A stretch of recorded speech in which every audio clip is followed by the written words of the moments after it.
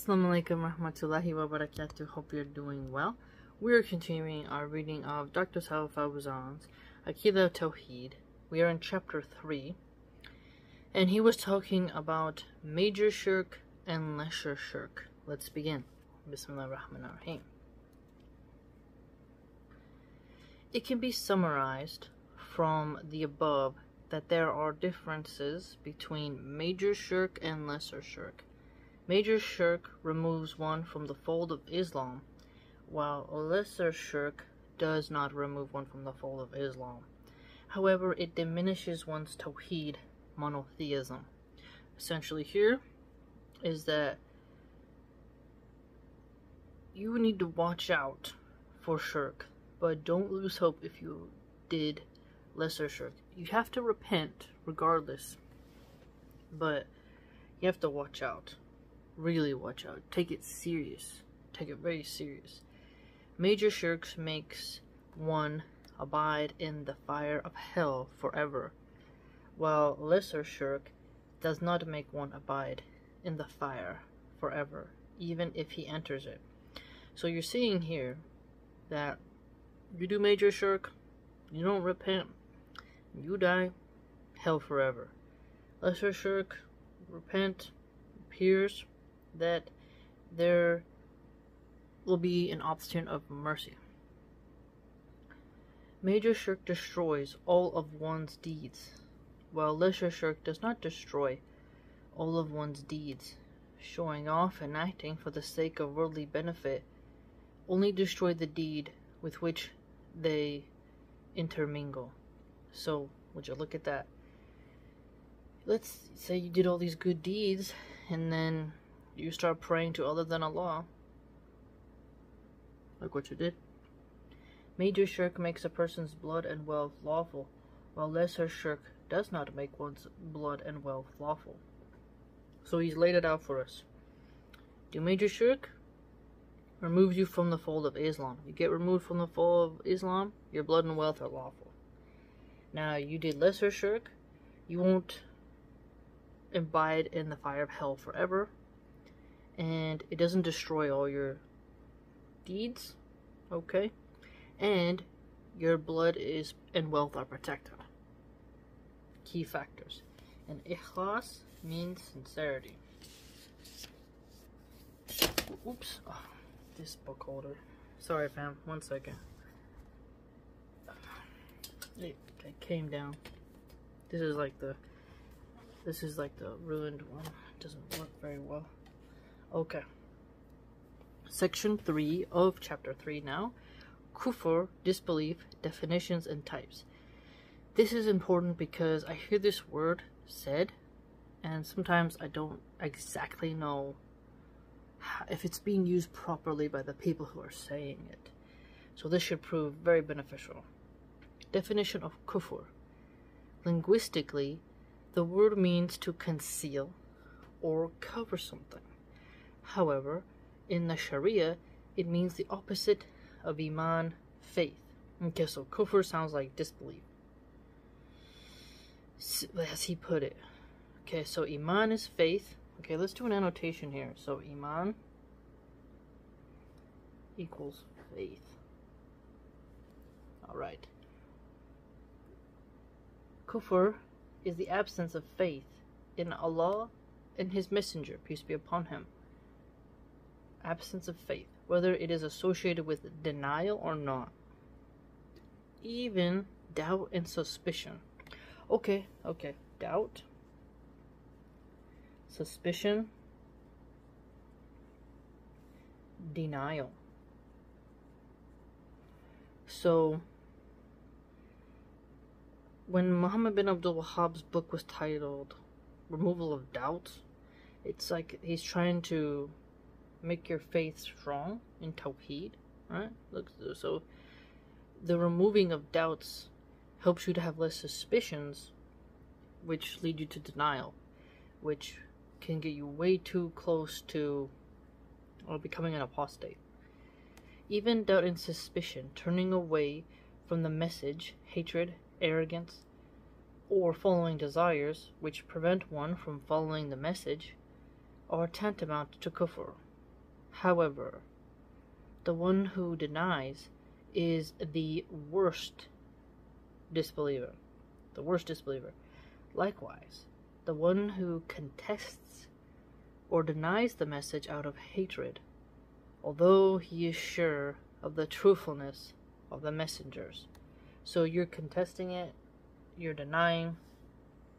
Well, now, you are doing kufr. Types of kufr. Kufr is of two types. Major kufr, this takes one out of the fold of Islam. It is of five classes. Okay, so this is gonna go deep, fam. We can already tell. Kufr of denial. The evidence for this is the statement of Allah, the Most High, quote, And who does more wrong than he who invents a lie against Allah or denies the truth of Muhammad, peace be upon him, and his doctrine of Islamic monotheism and this Quran when it comes to him? Is there not a dwelling in the hell for disbelievers in the oneness of Allah and in his messenger Muhammad, peace be upon him.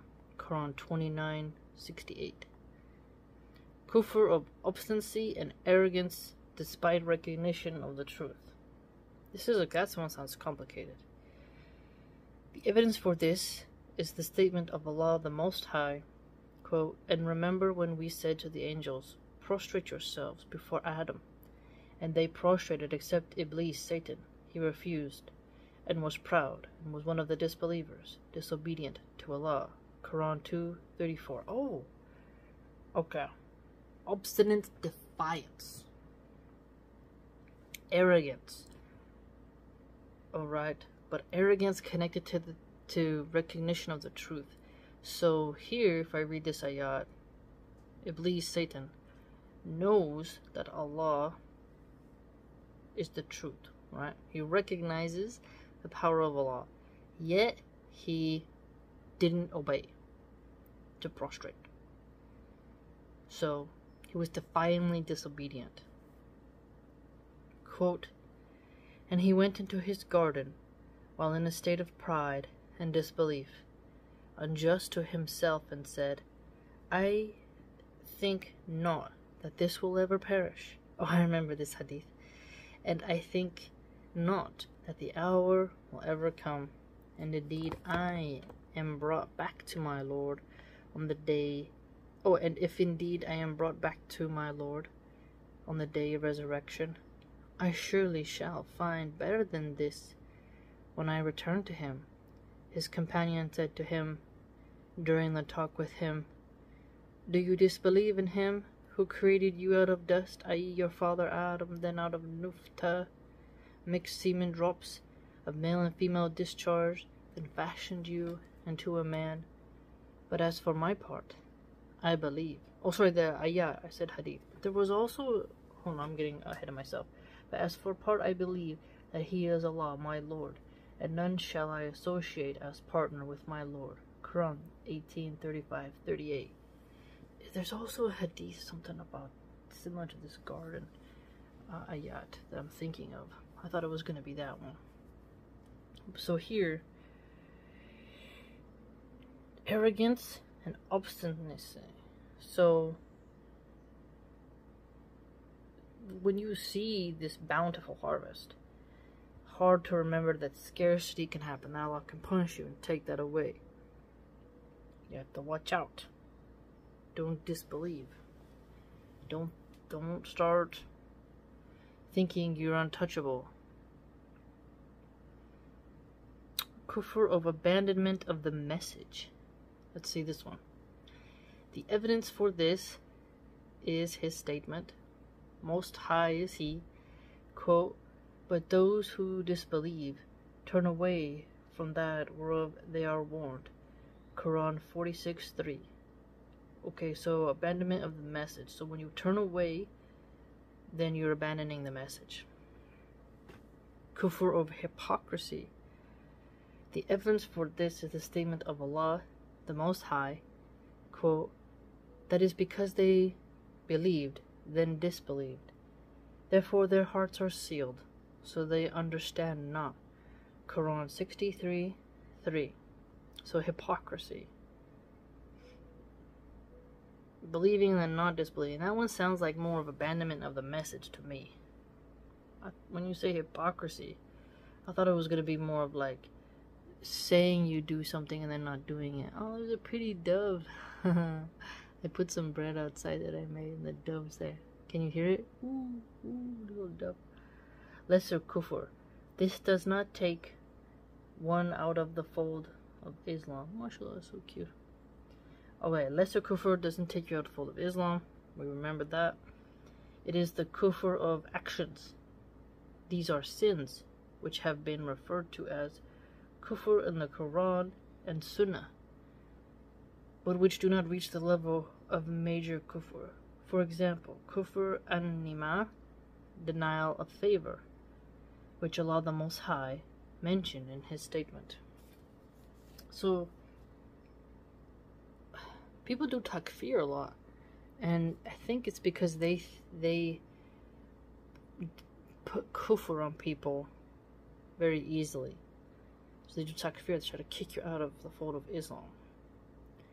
And then people rebuttal back with, you don't know what's in his chest. So we have to be careful. Very careful.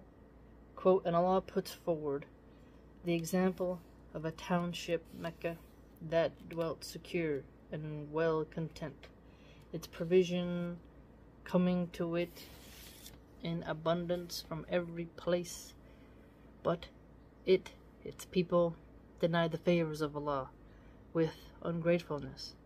Quran 16 112. Oof. That is something that humans do a lot. They think you're not favored if you don't have prosperity, but they never think that if you have prosperity, that it can be taken back from for your ingratitude. Yeah, you can't deny the favors of your Lord upon you. And wealth is a test, poverty is a test. Think of Job, and I'll be pleased with him. He was tested pretty, pretty deeply. Losing children, losing health, losing wealth, and then was rewarded for his gracious patience, and he never became ungrateful. If you only love Allah subhanahu wa ta'ala in times of plenty, plenty, how sincere are you? Can you still have that faith when the walls crumble around you?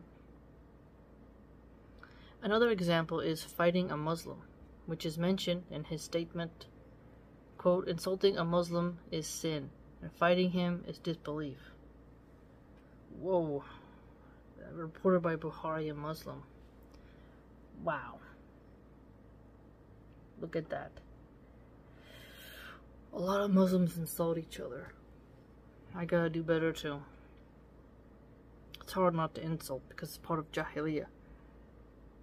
It's very difficult because it can feel good to insult. But Muslim Twitter is horrible. It's quite the worst examples of Muslims are the Twitter Muslims. You don't get that much on YouTube, but on Twitter, I mean, it's pretty horrible. And that's probably because of the liberal influence and the red pill influence. And his statement, quote, Do not turn after me, disbelievers, striking the necks of one another, reported by Bukhari and Muslim. Striking the necks of one another. So, don't fight another Muslim, don't insult another Muslim, and don't go about harming each other, basically. Another example is swearing by other than Allah. Quote, Whoever swears by other than Allah has disbelieved or committed polytheism. That one's pretty clear by now. We, we've read a lot. We totally get that by now. Allah has called the one who commits a major sin, a believer. He, the Most High, said, O you who believe Al-Qisas, the law of equality and punishment, is prescribed for you in case of murder. Quran 2, 178. This, i.e. murder, did not exempt the murderer from the group of those who believe. He, Allah, also called him a brother to the Waliul Qisas, member of the family of the one murdered, who has the prerogative of demanding retribution upon the murderer. He said, quote, But if the killer is forgiven by his brother, i.e., brother or the relative, etc., of the killed against blood money, then adhering to it with fairness, and payment of the blood money to the heir should be made in fairness. Quran 2 178. Okay. Blood money is an interesting concept. There was a little bit of that in draconian law that I read. So I haven't gone into exactly the nuances of blood money, but there is that sort of you owe something for when you take someone's life. Either we're going to do eye for an eye or we're going to do blood money. Without doubt, the intent of the word brother is the brotherhood of religion. He, the Most High, said, quote, And if two parties or groups among the believers fall to fighting, then make peace between them both. But if one of them rebels against the other, then fight you all against the one which rebels till it complies with the command of Allah. Then, if it complies, then make reconciliation between them justly, and be equitable. Verily, Allah loves those who are equitable. The believers are nothing but brothers in Islamic religion, so make reconciliation between your brothers. Dot dot. Quran 49, 9 through 10. Whew, that is hard. Reconciliation is a noble affair, but it can be so difficult. Very difficult. So it's almost like you have to put the disagreements into perspective. But the people who go around takfiring, those are the ones that cause a lot of problems. But the degree of fighting is also important. Like if you're just having a regular argument, disagreement about something, you know, don't take it to heart. Sometimes you can be like, okay, we disagree. You go this way, I go that way. You know, we're not gonna go at it each other's necks, but uh, we're not gonna be in the same room. I can understand that. But if it's like all of a sudden you're gonna go try to take that person's life because of something petty you can't get over, well, you done messed up, haven't you? Summary of the differences between major and lesser kufr. Major kufr removes one from the fold of Islam and destroys all of one's deeds, while lesser kufr does not remove them from the fold of Islam and does not destroy all of one's deeds. That sounds like what we read about shirk. So, major shirk, major kufr, big problem. Watch out. You really screwed up. Fix it. Minor kufr, minor shirk, less daunting of a task to refix, but you still gotta refix, but you're not uh, nailing the coffin yet. Major kufr makes one reside in the fire forever, while lesser kufr does not make one reside in the fire, even if one is made to enter it. So similar to major and minor shirk. Also, Allah Azawajal could turn to Him with repentance, and thus He may never enter the fire in the first instant. You see this hope. Major kufr makes one's blood and wealth lawful, while lesser kufr does not make one's blood and wealth lawful. So, right there you see how takfiris are very dangerous, in a sense because they willy-nilly get angry at a person, disagree with the person, bam, now we that protection that's upon the believers for another believer is removed, which is serious. Could you imagine you're going around takfiring people, boycotting people to the point where you're trying to stir up trouble? and you're calling this person a disbeliever and all types of slurs, and your judgment is totally off and totally wrong. Because remember, in Muhammad bin Abdul Wahhab's book, he pointed out how the person has to know. They may be ignorant of their shirk.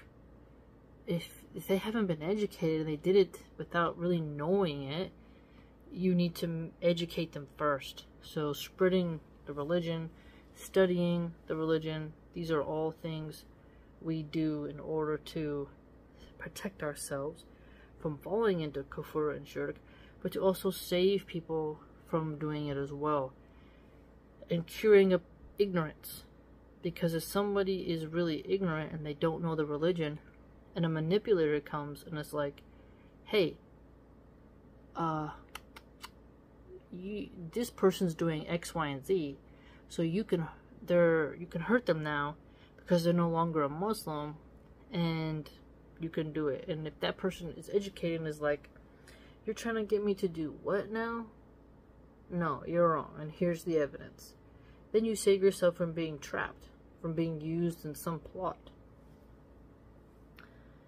Major kufr necessitates total enmity between its people and the believers.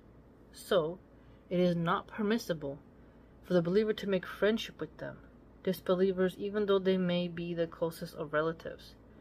As for lesser kufr, it does not prevent all forms of friendship. Rather, the person is loved and taken as a friend to the extent of what he possesses of faith, and despised to the extent of his sin. This is interesting because I have noticed more and more, like I'll follow some Landon Starbuck and Sydney Watson. I like these ladies for some of the things they were doing against the woke.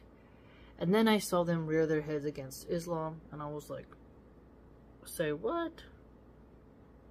Say what? And then you have to remember, ah, you can agree on some things, but we're not friends. We're not friends you will see you see you see yourself as an enemy to us and then if we say you're not one of us and we have different rules for you you get mad but you literally are doing the same thing and we just read with the jesuit video that i just did in their words that the modern progressive reformists of the catholics haven't gotten to yet it's a 15th century document uses the word infidels as well. So if someone looks at the text and not the modern reformists who are very controlled and fearful of liberal atheists, if they actually look at how the past Christians saw the pagans and, you know, really didn't like them and they wanted to convert them and did conquests on them, you would see that the Christians had their own groupings, right? The Amish, they're together in a community and they also have the outsiders the rules for their own group are different than the rules they have for others. You can have general rules for humanity, human dignity, but the obligations to your fellow is much higher. Even a Mason has this. Um, Jesse Lee Peterson interviewed a, Freemason, and he's and he goes, "Aren't you?" Jesse said something stupid. He said, "Aren't you afraid they're gonna Allah Akbar you?" uh, if you have a, a Muslim who's a Mason, and he said, no, not if they're a Mason, if they're a fellow Mason. So you see how the Masons have a brotherhood, fraternity, if you read their documents. You can see how the Christians have their groupings, and how they saw the pagans as different. Okay? And Jews, from the little that I've studied about them, I have printed out over 500 pages of the Babylonian Talmud, but uh, open sourced. Cause you can, cause I went to buy the volumes, and it was over a thousand dollars. I'm not spending the money on that. And the only way you can get them now is that I could find. I haven't didn't check Amazon though. I was looking on used bookshop sites, and they're all very expensive. And private estates selling them, uh, they're quite expensive. So I couldn't afford it, but I could find one for free that I could print which causes a lot of ink, a lot of paper, but they have the Jew and the non-Jew are different. So, what I'm trying to say here is that every group has in group treatment and out group treatment. Even in The Walking Dead, let's take fiction. Okay. There's a line where they have Randall, a guy who they captured while they were going to get Hershel from the bar. After Shane had blasted the walkers in the barn. And later on, they're discussing how they're going to get rid of Randall. And the Dale, the grandpa looking guy, he's trying to go around and spare this guy. And Glenn, the Asian one, says, he's not one of us. And they talk about how their duty is to keep the group safe. So, you can see even in cinematic fantasy realms, there's the in-group. In-group preference is different than the outsiders, right? And this is why some confederacies don't work and why a union works better. The United States, United States under the Federal Union. If you have just Confederates, like what happened with the Native American tribes, these are different in-groups fighting each other, and the treaties kind of wear down and don't work. So, when we read here that it's very serious when you uh, leave the fold of Islam, it makes sense because the way you treat your fellow Muslim, it's like your in group, your ummah, it's like you're together. You have an obligation to the other person, right? And so if you're a kafir, you're an infidel, you don't you're not one of us so we're to treat you different. And this is this is apparent. And every group has this. Every group has this in some way. And when it's wolf pack against wolf pack lion pride against lion pride group of elephants against group of elephants you're to see this everywhere. Ant colony versus ant colony. It's one of my favorite things to watch. See if you can find yourself some videos when another ant colony invades the other one. They go inside and like totally destroy the nursery of the other ants in group preference. It's just the way the world works. And okay, another fictional example. In Lord of the Rings, the Night's Watch. Remember, they would fight the wildlings. The wildlings hated the crows, and they did not like each other. Alright? Important very important. Yes, Jon Snow made them all buddy buddy, and I'm, I'm pointing it out, but you could see at least in the beginning, it, they were the Night's Watch. They had a duty to each other, okay?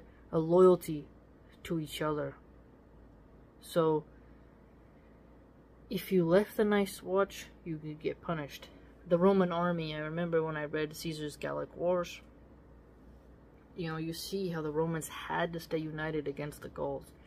And the punishment throughout ancient Rome for quite some time was if you left the army, you were a deserter, you were crucified, you were killed. Capital punishment. Okay? Treason is another example.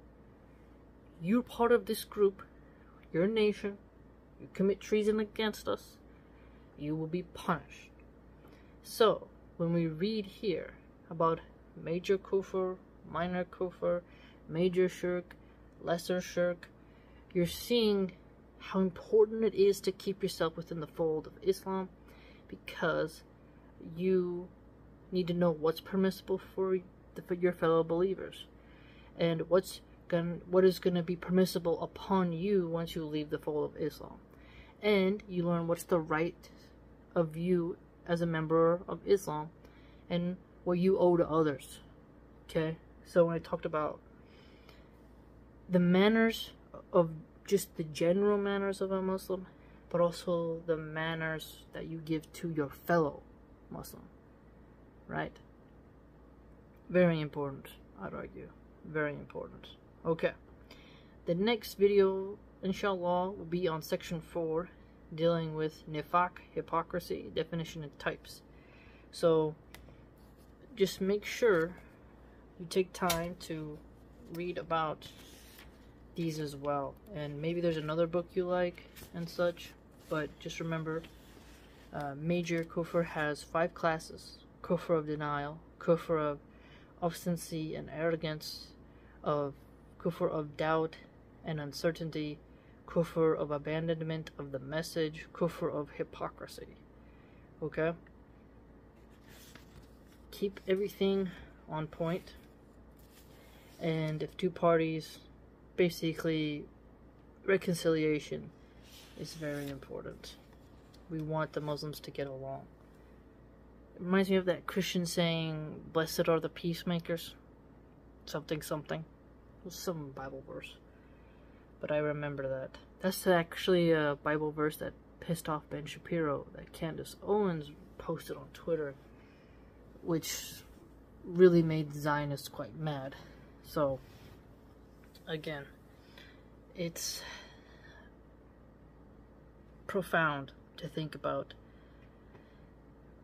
what we owe to each other as Muslims. Let me know what you liked, what you learned, and if you'd like to support my content, and see other things I write on the blog, you can join it by going to www.subscribestar.com slash Archive cups either.